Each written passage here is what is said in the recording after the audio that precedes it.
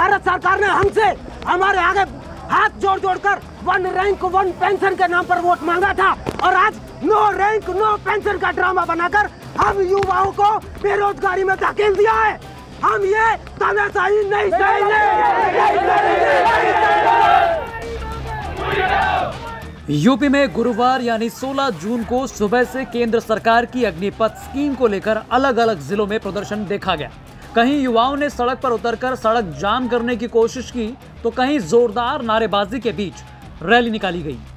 इन तस्वीरों के बीच उत्तर प्रदेश के मुख्यमंत्री योगी आदित्यनाथ ने सेना भर्ती की अग्निपथ योजना को लेकर प्रदर्शन कर रहे युवाओं से अपील की।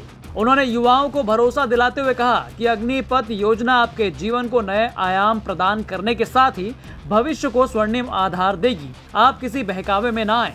सीएम योगी ने ट्वीट कर कहा युवा साथियों, अग्निपथ योजना आपके जीवन को नए आयाम प्रदान करने के साथ ही भविष्य को स्वर्णिम आधार देगी।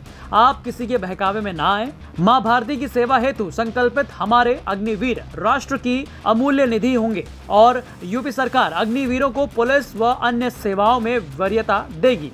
जय हिंद। हालाँकि सीएम योगी के ट्वीट के बाद सपा अध्यक्ष अखिलेश यादव ने सैन्य बलों में भर्ती की नई योजना, अग्निपथ को लेकर केंद्र सरकार पर निशाना साधते हुए कहा कि ये देश और देश के युवाओं के भविष्य के लिए घातक साबित होगा। उन्होंने ट्वीट कर लिखा, देश की सुरक्षा कोई अल्पकालिक या अनौपचारिक विषय नहीं है। ये अति गंभीर व दीर्घकालिक नीति की अपेक्षा करती है। सैन्य भर्ती को लेकर जो खाना पूर्ति करने वाला लापरवाही भरा रवैया अपनाया जा रहा है वह देश और देश के युवाओं के भविष्य की रक्षा के लिए घातक साबित होगा। अग्निपथ से पथ पर अग्नि ना हो। अपने दूसरे ट्वीट में अखिलेश एक वीडियो शेयर कर लिखते हैं कि देश के भावी सैन्य बलों पर बल का दुरुपयोग करके भाजपा सरकार युवाओं का मनोबल गिरा रही है।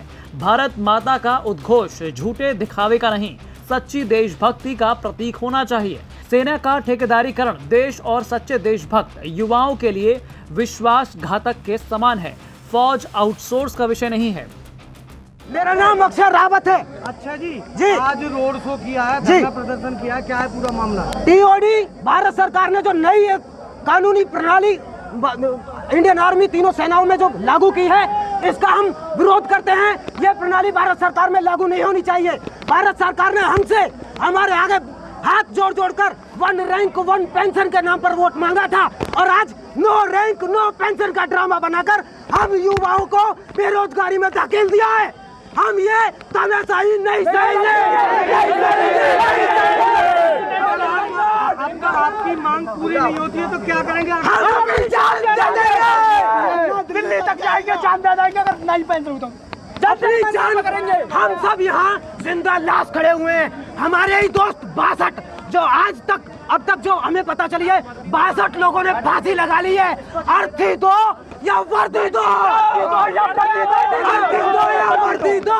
और दूसरी बात हमारी अगर नहीं बात माने हम यहाँ से रोड से उठेंगे नहीं चाहे आज हटाओ चाहे कल हम जाएँगे। हम मरे हुए समान हैं। हमारी साँसें छीन ली गई हैं। छीन लो साँसें हमारी फिर भी ज़िंदा है। भारत सरकार के इस फैसले पर हम शर्मिंदा हैं। आपको बता दें कि बुलंदशहर, मेरठ, अलीगढ़, फिरोजाबाद समेत कई जिलों में युवाओं ने प्रदर्शन किया। जगह जगह पोस्टर लिए युवा इस स्कीम को वापस लेने की बात करते रहे। इस बीच मुद्दे पर एक तरफ़ योगी सरकार वाहवाही कर रही है। यूपी पुलिस विभाग में कई वर्गों के लिए प्राथमिकताएँ दे रही है तो वहीं विपक्ष लगातार तगड़े जवाब के साथ युवाओं की आवाज़ बुलंद कर रहा है। ब्यूरो रिपोर्ट, यूपी तक।